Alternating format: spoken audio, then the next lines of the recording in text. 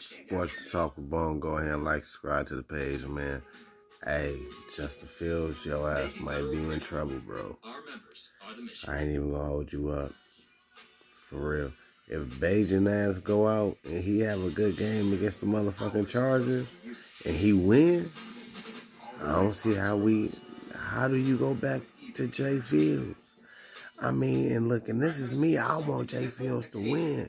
Like I want him to win. But if Bagent go out and he is solid, bro, is he is he Brock Purdy? Is he Chicago's version of Brock Purdy? And then if he is, man, that just makes everything more. That throws everything into the motherfucking in the air because now we still don't know what Justin Fields is. Is another another franchise gonna be interested in him? Like, is we gonna be able to unload Justin Fields and don't nobody know what he is? You know, is Bagent really that guy? You know what I'm saying?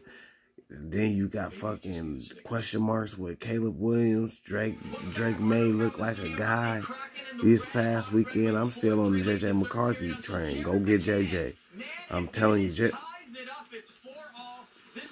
go blue, Jimmy. They trying to motherfucking, they trying to pull the old okey doke on you, man. But fuck them, man. Fuck the NCAA, boy. These old ass rules and shit. Y'all just don't want us to be great. Y'all know we about to win that natty. And y'all don't want us to be great.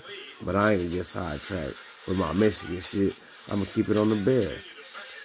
But like I was saying, Jay Fields, like, man, he in a Justin is in a tough fucking position, bro, because he damn near he wants the team to win, but if Bagent show his ass in the win, Justin might be the fucking odd man out.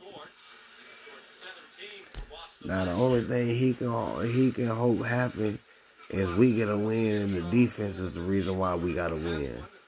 And then motherfuckers will be like, all right, Bagent was all right, but we really do need to see if Justin gonna be the future or not. But man, for them, man, for them, for the, the near future, like right now, speaking in the moment, bro, his ass is in trouble. His ass is. If Bagent, I'm telling you, if show his ass, bro, the heat of Chicago is going to be through the fucking roof. It's going to, man, they're going to be, and watch. Watch what I tell y'all.